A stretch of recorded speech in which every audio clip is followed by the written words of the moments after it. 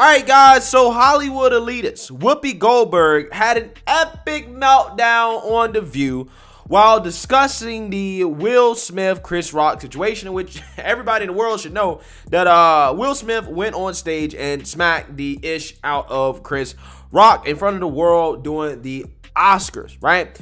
Uh, now, during this segment, they, they were discussing or having a conversation about the Hollywood elitism and hypocrisy associated with how some people reacted to what had happened, right? Uh, namely, uh, people standing up and applauding after Will Smith assaulted a man on national television. Okay, and during this conversation, for whatever reason, this really triggered Whoopi. Okay, because Whoopi did not like being referred to as in Hollywood elitist, and she went on a crazy rant uh, comparing being referred to as a Hollywood elitist to a uh, racial stereotype.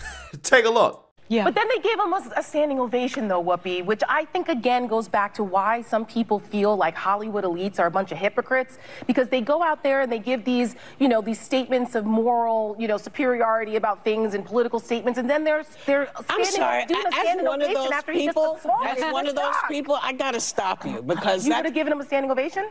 I would not have stood up, but that has nothing to do with why people do. Have you? Uh, let me ask you a in question. In the moment, though. Let me. In the moment. So you're sitting there. You just gone. Oh no, you've gone. Ooh, oh what the? Oh, oh, oh yeah.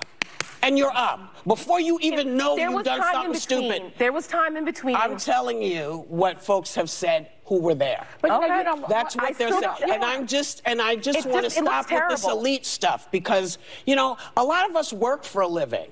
Mm-hmm. We work, we collect a check, we got families, we try to do the same thing, the good stuff that everybody else tries to do. And it really pisses me off when people start to talk about people who work in Hollywood, with just not not just actors, but all the other folks. So please, when you're talking about actors, be specific. If you if you're pissed off about somebody or how they act, don't put it on all of us because that's like saying all black people like chicken. Well, right. I mean, this, not saying I don't work for it, but when you're making chickens, no. chickens so when you're making millions of dollars, and it's some are making what, like, some are making millions you know, of dollars, but not everybody. Average Americans look at that, and that it, does come across that way. Well, you know but you know what, Tara, you can't paint yeah. the whole Hollywood people yeah. with one brush. Yeah. So the number one way to know that you are in fact a Hollywood elitist is when you get triggered by people calling out Hollywood elitism, right? I mean, Whoopi is like the definition of a Hollywood elitist. Okay, and uh, it goes further than just the whole standing ovation thing after Will Smith of uh, smack Chris Rock. Uh, because I can kind of understand people getting up and, and standing when you don't know what just happened, right? I mean, look, I mean, people could have thought it could have been a part of the show. I mean, when I first saw it, I was like, this got to be staged, okay? This can't be real, okay? But apparently it was, as we know right now. And, and I'm just saying, like, I can see why people would give a standing ovation uh, in the moment, right? Not knowing whether or not it is real. So I give them a pass for a standing ovation. But the Hollywood elitism goes further than that because Will Smith um, won an award afterwards, right? After he went on stage and smacked the host of the award ceremony, uh, they still gave him an award. And in fact, um, they didn't even ask Will Smith to leave. In fact, uh, allegedly, they asked him to stay. Okay, and if that was any regular person like me or you that would have done something like that, that would have went on stage and smacked Chris Rock, the host of the Oscars, we would be in jail. Right? There's no doubt in my mind we would be in jail. Okay? So, yeah, I mean, that is the textbook example of Hollywood elitism that we witnessed at the award ceremony and the way Hollywood has handled this um, has been hypocritical because they're always lecturing us, society, mainly people on the right, really, conservatives, on moral standards, right? And what's right and what's wrong. But when you have a situation in which a man assaults another man on stage, you have people, Hollywood types, uh, not all of them, but some of them, uh, trying to defend the man, right? Trying to say, well, it's okay because uh, he was defending a black woman. He was defending his wife, okay? They're trying to excuse the behavior. Okay, and the people that were running the award ceremony, the elitists there, um, again, they excused the behavior, right? They rewarded the behavior. Okay, they didn't really want to punish Will Smith. So, you know, again, I don't really understand why Whoopi is getting so offended here. Um, because at the end of the day, um, she is an elite and she benefits from the elitism. I mean, listen, just a few weeks ago, she's the one that went on national TV and said the Holocaust was not about race. Okay. Uh, she gets suspended and not fired when I think anybody else probably would have got fired for making comments like that. Okay. Comments that are very, very, very ignorant and offensive to uh, a so-called minority. Okay, uh, there have been people who have made comments about so-called minorities that are white. Okay, that are elitists like her that lost their jobs, right? Lost their livelihoods, but she did it, right? She did it. Okay, so again, I I, don't really understand why she's so triggered, except maybe uh, she realizes that what that host is saying, the, the, the guest host uh, is saying is correct and she feels some type of way about it because she has been one of the main beneficiaries of Hollywood elitism.